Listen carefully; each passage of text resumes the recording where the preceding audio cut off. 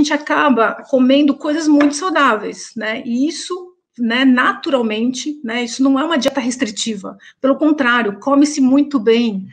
E aí as pessoas assustam, mas eu preciso comer tudo isso? Eu falei assim, sim, come planta, muita planta. E isso te traz resultado, né? Te traz resultado de você sentir saciedade, se você está nutrindo as suas células, você está desinflamando o seu corpo, você está fazendo um detox, detoxificando, porque tudo é, você começa a eliminar, você elimina.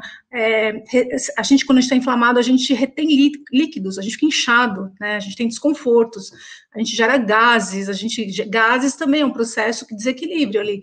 E quando a gente equilibra tudo isso, as bactérias ficam felizes, o trânsito intestinal funciona, você elimina, né, começa a desinflamar, porque você nutre a sua célula com, com, com vitaminas, minerais, que, que é a base da fonte de vitaminas e minerais, são plantas, né?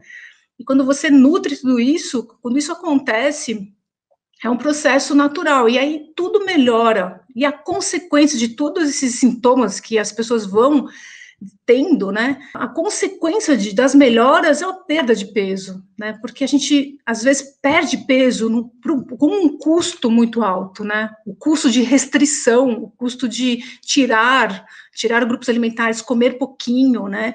E, e na verdade, né? É, não é bem assim, não é bem assim que acontece, é só que a gente tem que equilibrar tudo isso, né? E dá para ser muito gostoso também, né? Porque as pessoas falam, ah, tá, vou comer planta, vou viver de alface. Não, viver de alface não é saudável, né? Então não é só isso. A gente tem que equilibrar tudo isso também.